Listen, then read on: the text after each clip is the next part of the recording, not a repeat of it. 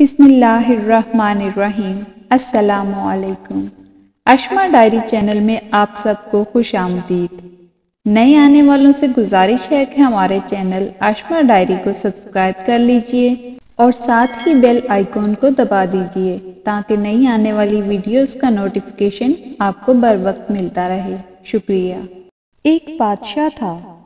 वो जो भी बात करता तो वज़ीर कहता, इसी में कोई बेहतरी होगी? एक दफ़ा बादशाह की उंगली कट गई। वज़ीर ने कहा, इसमें अल्लाह की कोई बेहतरी होगी। बादशाह को बहुत गुस्सा आया कि मेरी उंगली कट गई है और तुम कह रहे हो कि इसमें भी अल्लाह की कोई बेहतरी होगी। बादशाह ने वज़ीर को जेल में डाल दिया।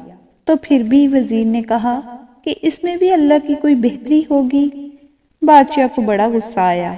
एक रोज बादशाह शिकार के लिए अपने इलाके से दूर निकल गया।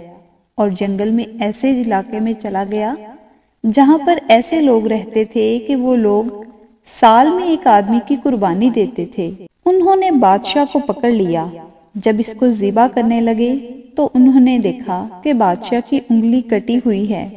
उन्होंने बादशाह को छोड़ दिया कि हम ऐसे शख्स को कुर्बान नहीं करते जो ऐबदार हो। इस वजह से उन्होंने बादशाह को छोड़ दिया। बादशाह वापस आता है, वज़ीर से बहुत खुश होता है और इसको बुलाता है और कहता है, वाकई, अल्लाह के हर काम में कोई ना कोई बेहतरी होती है। मेरी उंगली कटी थी, मेरी जान बच गई। जब मैंने तुम्हें जेल में डाला, इस वक्त भी तुमने यही कहा था, तुम्हारे जेल जाने में क्या बेहतरी थी?